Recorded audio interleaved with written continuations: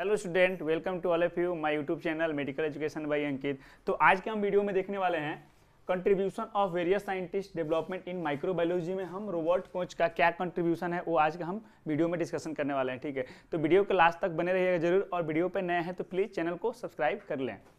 तो आइए देखते हैं फ़र्स्ट पॉइंट है he also known as the father of father of modern medical microbiology and bacteriology ठीक है?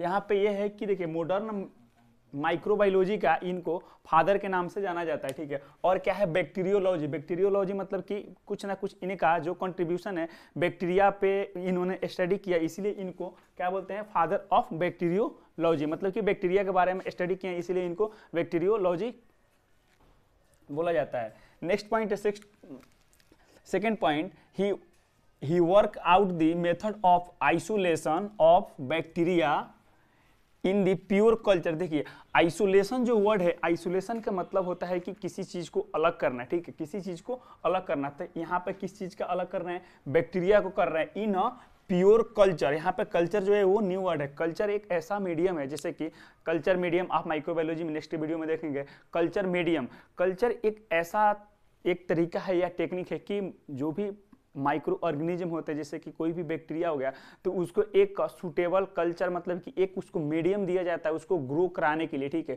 उसको कल्चर कराया जाता है, उसमें कुछ कल्चर में कुछ ऐसे होते हैं कि कुछ उसमें न्यूट्रिएंट्स होते हैं, जैसे कि एक आगार मीडिया हो गया लिक्विड आगार मीडिया हो गया चॉकलेट आगार मीडिया हो गया ठीक है? तो एक तरह का उसको मीडियम दिया जाता है, उसको न्यूट्रिएंट्स कहें तो उसको एक तरह का न्यूट्रिएंट्स दिया जाता है, उसको ग्रो कराने के लिए और ग्रो होगा तो उसमें आप प्रॉपर वे में इन्वेस्टिगेशन कर पाएँगे कि बैक्टीरिया का कैसा शेप है, कैसा साइज़ है और कैसा नेचर का है एरोबिक है एनारोबिक है, ठीक है? और मोटाइल है कि नॉन मोटाइल है? तो उसके बारे में पूरा इन्होंने रोबोट कोच ने पूरा बैक्टीरिया के बारे में बताया था, इन, इसलिए इनको फादर ऑफ़ बैक्टीरियोलॉजी के नाम से जानते हैं। तो सेकेंड पॉइंट है his contribution in microbiology given below ठीक है? अब यहाँ पे फ़र्स्ट पॉइंट देख रहे हैं। He discovered various culture medium यहाँ पे ठीक है कल्चर क्या है और मीडियम मतलब क्या हो गया कि माध्यम। और कल्चर का मतलब हो गया, जैसे कि फॉर एग्ज़ाम्पल के लिए सॉलिड मीडिया एक अगार मीडिया और ईटीसी ठीक है? यह एक अगार मीडिया या चॉकलेट मीडिया भी होता है, ठीक है? और सॉलिड मीडिया, लिक्विड मीडिया भी होता है। तो एक तरह का मीडिया हम प्रोवाइड करते हैं किसी भी ऑर्गेनिज्म को ग्रो कराने के लिए। जैसा कि अभी आपको बताया कि ग्रो कराने के लिए, ठीक है? जब भी कोई भी इन्वेस्टिगेशन होता है तो डॉक्टर बोलता है कि इनको कल्चर करना पड़ेगा, ठीक है? तो कल्चर का मतलब ये होता है कि इसमें मेनली फोर्टी 48 हावर्स या 72 आवर्स का इसमें टाइमिंग लगता है, ठीक है?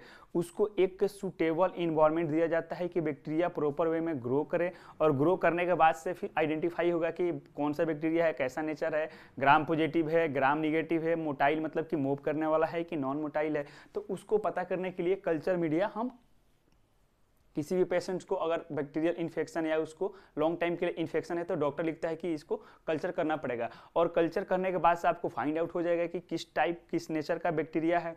उसके बाद से डॉक्टर जो है वो आपको एंटीबायोटिक प्रिस्क्रिप्शन करता है। नेक्स्ट पॉइंट है इन 1882 में डिस्कवर्ड दी ट्यूबरकल बेसिलाई ठीक है? हम नेक्स्ट के चैप्टर में पढ़ेंगे बेसिलाई जैसे कि एक तरह का ये बैक्टीरिया है, कोकाई है बेसिलाई है डिप्लोकोकाई है उसके बारे में तो इन्होंने अठारह ईस्वी में ट्यूबरकल बेसलाई बैक्टीरिया जो है, इसके बारे में भी इन्होंने क्या किया था? डिस्कवर किया था। थर्ड पॉइंट है he discovered a causative organism causative organism of the cholera ठीक है? कोजेटिव ऑर्गेनिज्म जहाँ भी वर्ड आए तो कोजेटिव मतलब कि कारण कोज करने वाला, और ऑर्गेनिज्म मतलब कि माइक्रो ऑर्गेनिज्म और किस चीज़ का है? कोलेरा विब्रियो, फॉर एग्ज़ाम्पल के लिए विब्रियो। विब्रियो क्या करता है कि कुलेरा को कोच करता है, ठीक है? और कुलेरा क्या होता है जब भी आप मतलब वाटरी लूज मोशन होने लगता है, जिसमें क्या होता है कि फ़ूड का पार्टिकल्स देखिए, कोलेरा और डायरिया दोनों एक जैसा सुनने में लगता है या बहुत लोग कन्फ्यूज़ होते हैं, लेकिन इसमें डिफ्रेंशिएट ये है कि डायरिया को हम अगर तीन से ज़्यादा चार बार, तीन से ज़्यादा अगर बार अगर मोशन हो रहा है लिक्विड मोशन हो रहा है तो उसको हम डायरिया में कंसीडर करते हैं according to W H O लेकिन अगर कोलेरा की बात बोले तो कोलेरा में आपका फ़ूड का पार्टिकल्स आता है और उसका थोड़ा स्मेल जो है स्टूल का जो स्मेल है, वो बिल्कुल चेंज रहता है तो उसको हम कोलेरा करते हैं। तो उसका कोलेरा किस कारण से हो रहा है, किस ऑर्गेनिज्म से हो रहा है, बोले तो विव्रियो ठीक है विव्रियो तो उसके बारे में उसके बारे में भी रोबोट कोच ने इनका कंट्रीब्यूशन है। नेक्स्ट पॉइंट है fourth point he he introduce criteria for criteria for investigation of various infectious various infectious disease known as a Koch Koch postulates ठीक है? यहाँ पे देखिए क्रिटेरिया क्रिटेरिया का मतलब क्या हुआ यहाँ पे कि कोई भी मेथड्स और किस चीज़ का method investigation of various infectious disease ठीक है?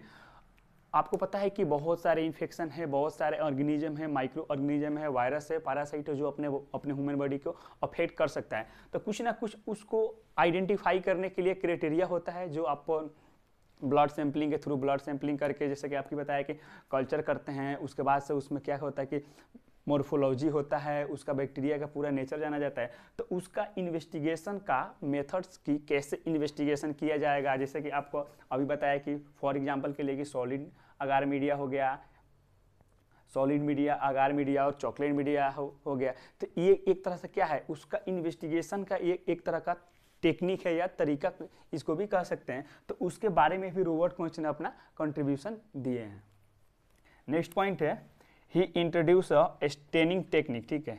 स्टेनिंग टेक्निक स्टेनिंग एक अपने आप में बहुत बड़ा चैप्टर है, जो कि हम नेक्स्ट के एक एक करके वीडियो में हम देखेंगे। आप अभी इतना समझ लीजिए कि स्टेनिंग एक ऐसा ऐसा मेथड्स है, जो कि लेबोरेटरी में बैक्टीरिया को आइडेंटिफाई किया जाता है, ठीक है? बैक्टीरिया के किस साइज़ का है, किस शेप का है, और बैक्टीरिया का पोर है, कैसा, जो बैक्टीरिया में पोर होता है। जैसे मान लीजिए कि ये बैक्टीरिया हो गया तो कुछ कुछ इसमें पोर होता है, ठीक है? तो उसके बारे में भी पूरा इसमें क्या करते हैं कि आइडेंटिफाई करते हैं उसको पूरा लैब में उसको पता किया जाता है तो इसके बारे में भी रोबोट कोच ने क्या किया था?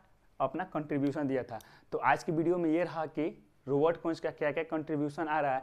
ये बीएससी नर्सिंग माइक्रोबायोलॉजी के लिए बहुत इंपॉर्टेंट क्वेश्चन है और इसके बारे में हम जब नेक्स्ट पढ़ेंगे तो जैसे कि सॉलिड मीडिया कल्चर मीडिया हो गया और स्टेनिंग टेक्निक के बारे में हम नेक्स्ट करके वीडियो हम पढ़ेंगे तो आज के लिए इस टॉपिक में कोई भी आपको डाउट है तो प्लीज़ क्वेश्चन कीजिए कमेंट्स में और वीडियो अच्छा लगा तो लाइक कीजिए शेयर कीजिए और चैनल को सब्सक्राइब ज़रूर करें। Thank you